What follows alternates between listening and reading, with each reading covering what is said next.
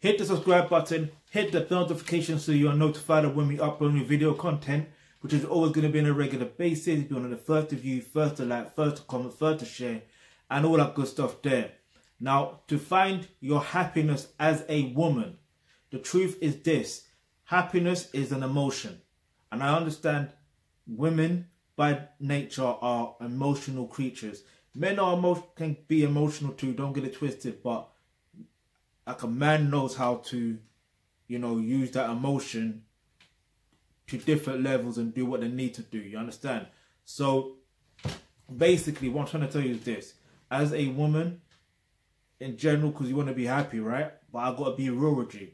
Happiness is just an emotion, and emotions, whether it's being upset or being happy or being sad or being, you know, whatever type of feeling that you have at that moment, it's literally just that. It's for a moment. You can probably prolong the moment for a certain period of time, but then you gotta refill. It's like a drug.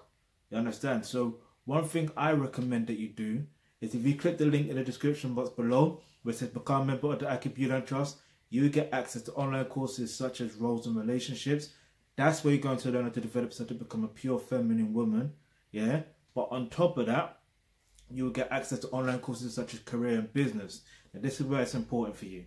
You will learn and develop what your true personalized mission on earth is, what your true passion is, because what you're passionate about it will bring that emotion of happiness to you, even if there's going to be sometimes where it's going to be a little bit challenging, but you're passionate about it anyway. So, you know, for however long you're probably, I don't know, upset for or angry, it will outweigh what it will basically, it wouldn't really matter because you're passionate about it and you will find your happiness within that.